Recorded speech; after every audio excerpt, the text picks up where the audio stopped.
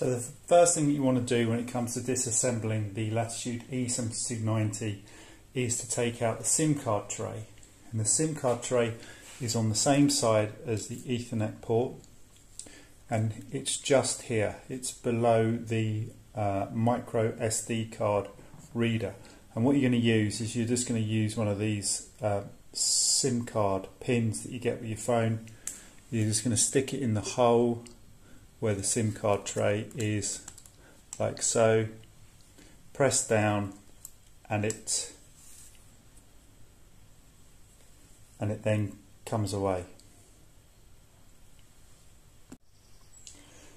So to take off the bottom case the bottom lid the bottom case sorry of the latitude 7290 what you're going to do is you need to take out eight Phillips head screwdrivers and they're here, here, here, here, here, here, here and here.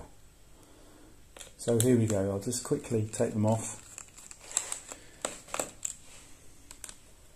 Now I found these screws really hard to actually come out completely I've kind of loosened them as much as I can and then I leave them in the cover as I flip it off.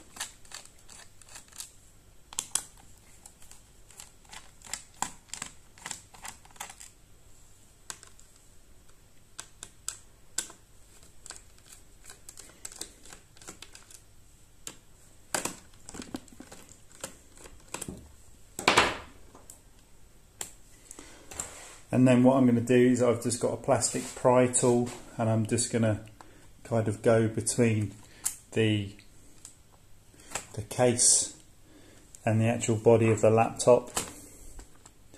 And this is a good place to start up here.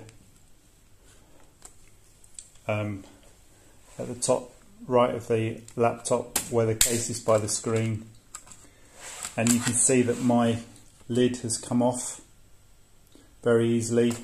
Um, you may, and I've already taken it off once, so that's part of the reason, but when you do it, you may just have to run the pry tool round under between the cover and the actual body of the laptop, and then it will just snip off like so. So once the bottom cover is off, we can then take the battery out, and the battery, and you can see it here, this large black uh, rectangle is held in by two screws, Phillips head screws. So you've got one screw here and one screw here.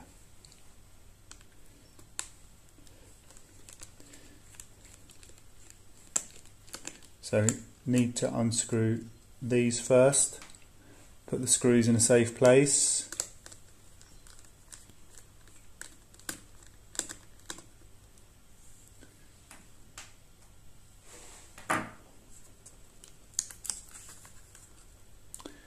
and then also